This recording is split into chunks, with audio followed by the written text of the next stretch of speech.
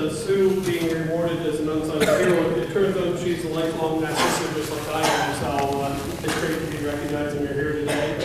And uh, I'd also like to recognize her niece and, and some of the uh, other folks. She's actually, she's got a whole entourage in here, I've noticed today, so congratulations on that.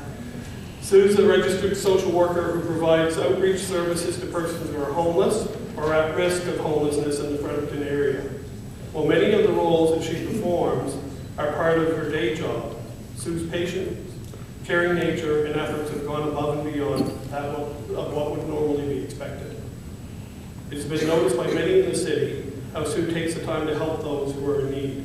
I think that's being demonstrated today with a lot of the folks that are out here that she provided services to, and they're here to help recognize her, her recognition here today, so that's great to see. As a volunteer, Sue's a past board member of AIDS NB and is an instructor of the Roots of Empathy program at Park Street Elementary School. She taught Sunday school for 10 years. She offers help to an elderly neighbor by assisting with day-to-day chores, going for outings, and maintaining contact with friends and family. She helps fundraise uh, and organize a bridge tournament for the men's shelter, which provides snacks and prizes for the event. In addition, Sue organizes donation pickups with others for people moving from the shelter.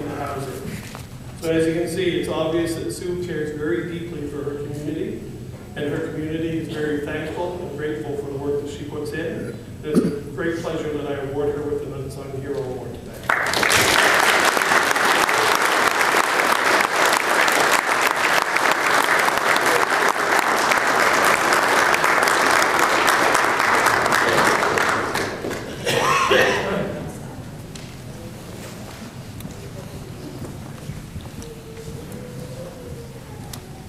Invite Councillor Grandin to come up and give the next award.